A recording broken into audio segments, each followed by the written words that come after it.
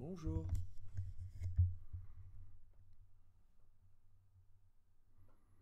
Je voulais partager aujourd'hui avec vous une, réflexion, euh, en tout cas un questionnement par rapport à, des personnes euh, relativement reconnues comme ça Sainte le Dalai Lama ou d'autres gourous indiens ou pas seulement indiens par rapport euh, au sexe.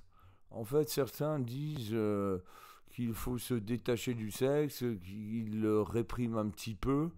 Et je dirais, euh, d'un certain point de vue, ils, ils rejettent cela pour gagner du pouvoir sur les autres. Car le sexe, en fait, est une forme de pouvoir. Plus on a des relations, plus on devient épanoui et plus on devient fort. Et en plus, on peut, par le tantra, gagner certaines capacités.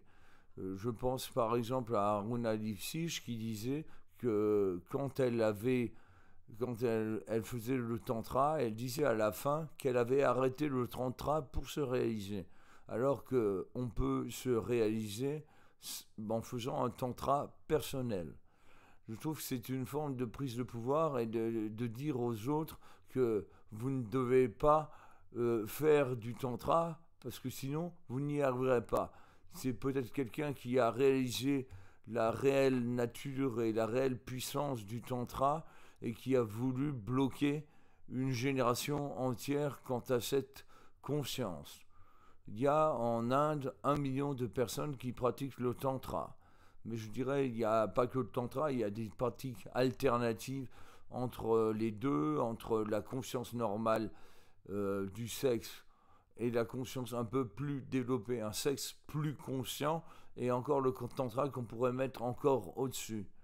Donc, euh, je dirais, il faut, il faut essayer de, de me revoir cette question et sa sainteté le Dayama en critiquant des gens qui sont relativement sexuels montre sa faiblesse relative quant à cette et ses connaissances dans ce domaine car je ne crois pas qu'il a à part avec ses guides il ait fait grand amour avec des personnes voilà je voulais juste dire des choses comme ça parce qu'il y a des gens vraiment qui castrent le sexe qui disent que c'est mauvais si ça n'existait pas le monde n'existerait pas. Et si ça existe, c'est que ça a un intérêt, quelque part, qu'il soit bon ou mal. On ne peut pas rejeter tout. Je suis plutôt une forme d'épicuriste bouddhiste, c'est-à-dire que je vis, je vis ma vie et je la vis bien et je la vis pleinement. Je suis un sage et en même temps, je sais vivre.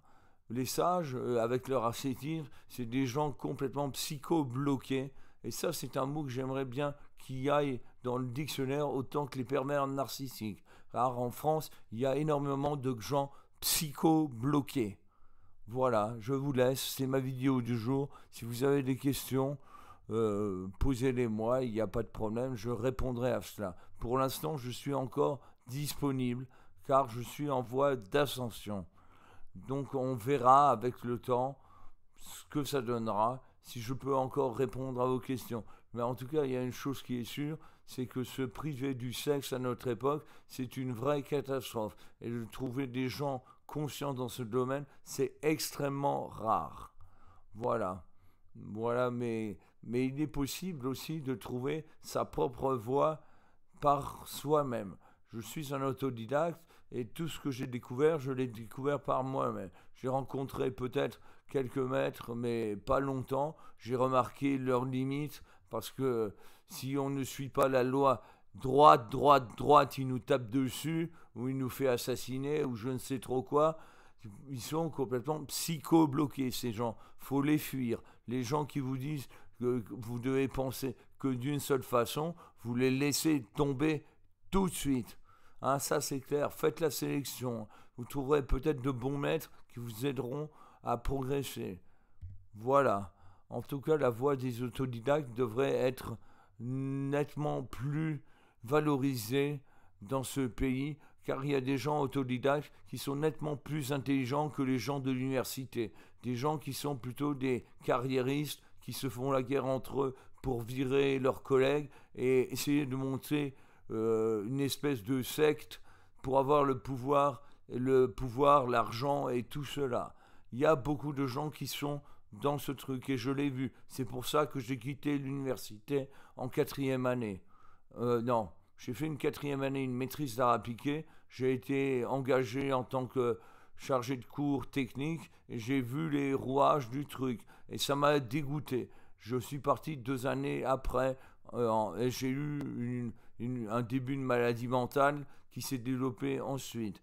Je suis quasiment guéri de ce truc, mais je dirais cette maladie a été plus une bénédiction qu'une malédiction, car cela m'a apporté énormément de conscience.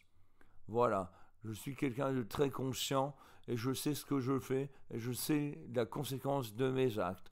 Je sais qu'il y a des choses où il faut savoir se, se mettre en avant, sacrifier certaines choses pour essayer de faire valoir ses idées. Si on ne sacrifie pas une part de son argent par rapport à des idées qu'on veut défendre, on n'y arrivera pas. Ça, c'est un point. Si vous avez des, des idées euh, par rapport aux droits humains, à l'égalité, à la responsabilité, à la fraternité, à notre époque, je pense qu'on doit vivre dans un monde de plus de dureté pour que les, les meilleurs, ceux qui sont des combattants, les meilleurs s'en sortent et que les gens qui ont euh, qui sont plutôt des bourgeois, sortent un peu de leur trou. Parce que ces gens, eux, ils, tirent les ficelles. S'ils avaient plus de difficultés, ce serait peut-être pas eux qui seraient à leur place. Voilà, ce serait peut-être des mendiants très puissants ou des, des gens des classes moyennes qui savent se battre jusqu'au bout. Voilà, ce truc, c'est aussi un peu pour la lutte des classes. Je vous remercie de m'avoir écouté. Alain Bittler.